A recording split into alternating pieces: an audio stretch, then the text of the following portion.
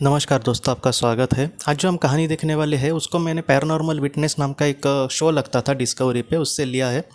ये डेव नाम के एक इंसान की कहानी है और उसके बेटी की, उसको हमने नाम दिया है ग्रेस डेव एक जगह पे दोस्तों, वो उसकी वाइफ और उसकी बेटी, जिसको हमने मतलब ग्रेस कहा है तो उन्होंने एक जगह पे घर लिया था दोस्तों, एक सच्ची कहानी है ये। और वो जो घर था, वो मतलब थोड़ा सा ऐसा टाइप का था, जहाँ से बहुत ही मतलब दो कदमों में ही उनके सामने, घर के सामने ही हाईवे था। आपने भी ऐसे कुछ घर देखे होंगे तो वो घर कुछ वैसा ही था। और डेव ये कहते हैं कि वहाँ से वो घर लेने के बाद इनको भी थोड़ा सा डर लग रहा था क्योंकि उनकी छोटी बेटी थी तो फटक से मतलब वो खेलते खेलते उस रास्ते में ना चली जाए, लेकिन वो बहुत उनको सस्ते में मिलना था उस वक्त और इनका बजट भी उस वक्त ज़्यादा नहीं था, इसलिए उन्होंने सोचा कि फ़िलहाल के लिए ये ठीक है। तो वो जो अब घर घर उन्होंने लिया तब उनको एक, वहाँ पर मतलब वो बहुत ही ज़्यादा सस्ते में मिला था। पहले तो उनको लगा कि हाईवे एकदम बाजू में है, इसलिए वो सस्ता था, लेकिन बाद में उनको ये पता चला कि घर में कुछ पैरानॉर्मल चीज़ें घट रही है। मतलब कहीं ना कहीं वो शापित घर जैसे हम बोलते हैं, बाधित घर तो वैसे था। और वहाँ पर कुछ ना कुछ मतलब उल्टा सीधा ही होता रहता था। और ग्रेस ये कहती है कि छोटे बच्चों का ऐसी जो नेगेटिव शक्तियाँ है, वो उसको थोड़ा सा हमसे ज़्यादा जल्दी उसको आकलन कर सकते हैं। और उन पर बहुत ही बुरा असर भी जल्दी ही होता है हमसे। तो वो जो उनकी बेटी थी ग्रेस उसको बहुत ही ज़्यादा उस वक्त डर लगता था किसी जगह पे। वो कहती थी कि मतलब वहाँ पर एक गराज था, घर का एक गराज था तो उस गराज में जाने के लिए वो बहुत ही ज़्यादा डरती थी उस वक्त। वो कहती थी कि मुझे किसी नेगेटिव शक्ति का ऐसे यहाँ पर आभास हो रहा है।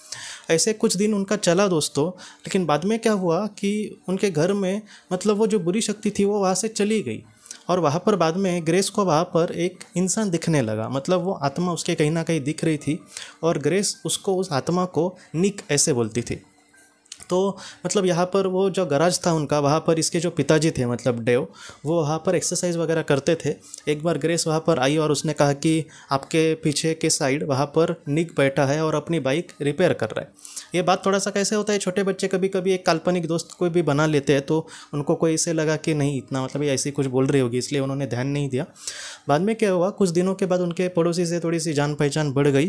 तब इन्होंने कहा, तब उनके पड़ोसी ने कहा कि तुम्हारा जो घर है, वहाँ पर दो तीन महीने पहले एक लड़का रहता था जिसका नाम था निकोलस और उसको बाइक में बहुत इंटरेस्ट था। ये बात सुनकर इसके मम्मी पापा को एकदम शौक लगा कि ये तो हमारी बेटी को ये सारी जानकारी भी नहीं है और वो कह रही थी कि, निक अंकल मुझे वहाँ पर दिखते हैं और वो मुझसे हँसी से बात करते थे। लेकिन जो निक था दोस्तों, वो एक अच्छी आत्मा थी या फिर एक अच्छा मतलब इंसान था, इसलिए वो भी बुरी शक्तियाँ नहीं थी।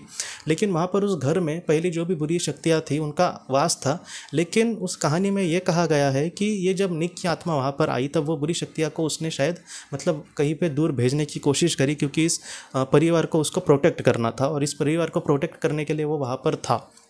बाद में क्या हुआ दोस्तों कि उसके घर वालों ने ये कहा मतलब पड़ोसी वालों ने बाद में ये कहा कि जो निकोलस यहाँ पर रहता था कुछ महीनों पहले, उसका एक बाइक एक्सीडेंट में मृत्यु हो गई और वो उस दिन मतलब ख़त्म हो गया था और बाद में उस घर पे कोई भी नहरे के लिए नहीं आया था, बाद में वो डेव ने खरीद लिया था घर। तो इस वजह से हो सकता था कि जो निको, निकोलस था वो वहाँ पर उस घर में कहीं ना कहीं उनको प्रोटेक्ट करने की कोशिश कर रहा था। लेकिन ये बात जितने भी हमने देखी, तब जो डेव की पत्नी थी डेव की सास मतलब उसकी पत्नी की जो माँ थी, उसने वहाँ पर आकर, वो वियतनाम की थी मतलब उसका जन्म वहाँ पर हुआ था तो वियतनाम के जैसे उनका मतलब संस्कृति से जिस तरीके से आत्मा को वगैरह शुद्धि करते हैं या फिर उनके मोक्ष के लिए प्रयत्न करते हैं, वैसे उन्होंने एक पूजा करने की कोशिश की। क्यों? क्योंकि कहीं ना कहीं हाँ वो प्रोटेक्ट करने के लिए आया है निकोलस लेकिन फिर भी उसकी ये जगह नहीं है। उसको अभी उसके आत्मा के आगे के सफ़र के लिए जाना होगा, क्योंकि वो पृथ्वी पर अब नहीं है। तो इस वजह से उन्होंने एक स्पिरिचुअल किया और उसके बाद वो निक जो था, उसकी आत्मा कहीं ना कहीं वहाँ से मुक्त हो गई। ये जो ग्रेस है दोस्तों, अभी वो बड़ी हो गई है, तकरीबन ये दस बारह साल पहले की बात है। तो वो बहुत ही छोटी थी। लेकिन ग्रेस आज ये, आज भी यही कहती है कि वो अपने, उसका जो अंकल था या फिर वो कहती है कि वो मेरे एकदम मतलब जैसे मेरे बड़े जैसे अंकल वगैरह होते हैं हमारे चाचा तो उस तरीके से वो कहीं ना कहीं मुझसे प्यार करता था।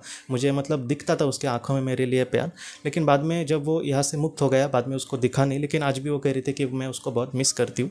तो ऐसी कुछ घटनाएँ होती है दोस्तों, नॉर्मल सी ये घटना है, लेकिन कुछ ऐसी भी चीज़ें हमें दिख दिख मतलब इस कहानी से मुझे जो अच्छा लगा वो कह रहा हूँ कि जहाँ पर बुरी आत्माएँ या फिर बुरे साए हम कहते हैं, वहाँ पर कुछ अच्छी भी आत्माएँ होती है जो हमें मतलब कहीं ना कहीं प्रोटेक्ट करने की कोशिश करते हैं। तो ऐसी ये चीज़ें हैं और मतलब ऐसी जो कहानियाँ हैं, उससे हम यही सीख सकते हैं कि जितना हो सके हम अच्छे मार्ग पर चलने की कोशिश करें, हम अच्छे रास्ते पर चलने की कोशिश करें दोस्तों। तो दोस्तों, हम अपने अगली वीडियो में किसी नए विषय को लेकर मिलेंगे। तब तक आप अपना, अपने परिवार का ख्याल रखना। आपका बहुत बहुत धन्यवाद। ज़िंदगी की रोशनी ये एक कंसल्टेंसी है, जो ऐसे लोगों को मदद करने की कोशिश करती है, जिन्होंने किसी अपने को खोया है, या फिर जो लोग अपने जीवन में बहुत ही ज़्यादा दुखी है। जो लोग इस संस्था के साथ जुड़ते हैं, उन्हें पास्ट लाइफ रिग्रेशन की ऑडियोज़ भेजी जाएगी, जिससे घर बैठे वह पास्ट लाइफ रिग्रेशन का अभ्यास कर सकते हैं, और उन्हें पाँच मेडिटेशन ध्यान की भी ऑडियोज़ भेजी जाएगी, और इसके साथ साथ उन्हें पीडीएफ किताबें भेजी जाएँगी, जो हिंदी और अंग्रेज़ी में है, जो मोबाइल पर या फिर लैपटॉप पर आप उसे पढ़ सकते हैं और 10 ऑडियो बुक्स भी आपको भेजी जाएँगी। तो दोस्तों, अगर आप इस संस्था के साथ जुड़ना चाहते हैं तो कृपया इस नंबर पर व्हाट्सअप मैसेज करें। आपका बहुत बहुत धन्यवाद।